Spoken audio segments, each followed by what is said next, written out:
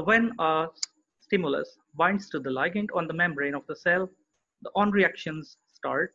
The, these on reactions are receptors and then the associated downstream molecules, and then they are activated.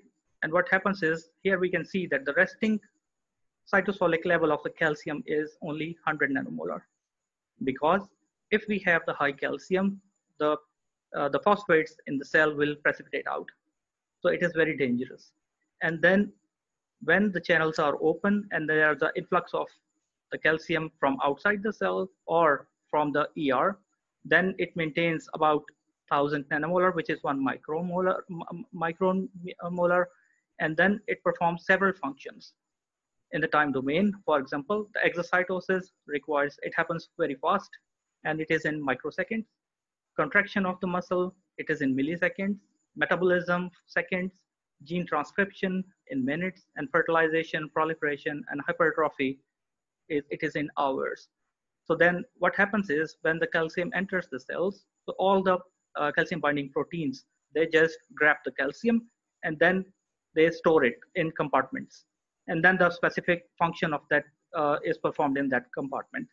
And it can, it is, if it is a longer event, for example, the cell proliferation where cell has to divide after 48 hours or 24 hours, so that, that is, uh, that, that calcium is hold and it is used. So the next thing is the, if you see now how the calcium signaling works. So it works here, we can see the agonist binds to the receptor and then the phospholipase C, it gets activated. And here the phosphatidyl uh, inositol PIP2 actually converts converted into inositol phosphate 3 and diacylglycerol. These two are the strong second messengers and this IP3 then travels through the cell, goes to the ER membrane, binds to the inositol phosphate 3 receptor, and then it makes the stored calcium released into the cytoplasm, which regulates several functions.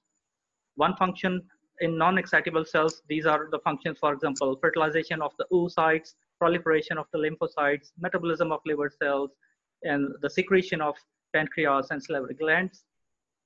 And then it has a modulatory role, which is that it activates several other functions in the excitable cells. And basically there are three methods. One is the agonist binds the ligand, and then the calcium cascade is activated. The second one is through receptor operated calcium entry, where the agonist directly binds to the receptor, opens it, and there is a huge influx of the extracellular calcium. Here it was the ER calcium store depletion, but here it is the from the outside. So agonist can work both ways.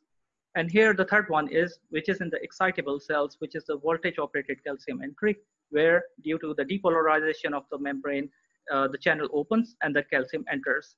And then this, ca this can activate to the ryanodine receptor also in the ER, and then there will be a efflux of the calcium in the cytoplasm and it regulates several functions in the excitable cells also, which can lead to the, uh, which are the neurons, excitability, uh, beta cell insulin secretion, contraction, and cardiac cell contraction. But what happens is, if there is a change in the transient, which will, we will see in the, uh, in the following slides, so when there is a change in this calcium regulation, so then it causes several diseases. For example, the neural diseases, Alzheimer, bipolar, and then diabetes, and then cardiac disease, etc. So this is the calcium transient. So now we understand, we will talk about what is the on reaction and what is the off reaction. So here, when the channel opens and the ER is depleted, so on reactions are on. So calcium entry or calcium release, both are called as on reactions. As we saw here. So I'm talking about here, the release from the, from the ER or entry from the receptor from outside the cell. So this makes the on reaction.